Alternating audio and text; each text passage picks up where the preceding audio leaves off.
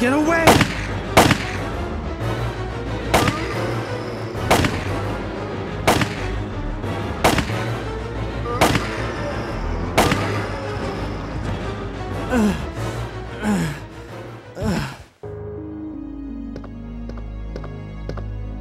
Brad, hang in there.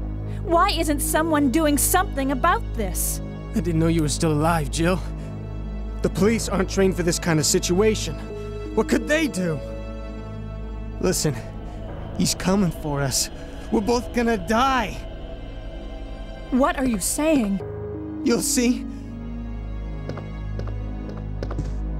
He's after STARS members. There's no escape.